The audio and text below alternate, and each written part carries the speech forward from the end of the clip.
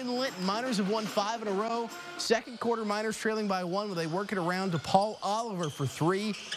He dials this one up from long range.